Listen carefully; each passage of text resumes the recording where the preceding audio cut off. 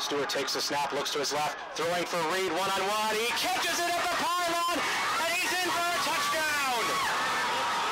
They are going for it. Doane going for the win. 17 seconds left, they're down one.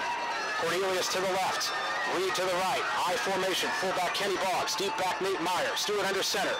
Stewart takes a sweep, throws, caught by the tight end Westler for the two-point conversion. The Doane Tigers are on top. 49-48 with 17 seconds to go.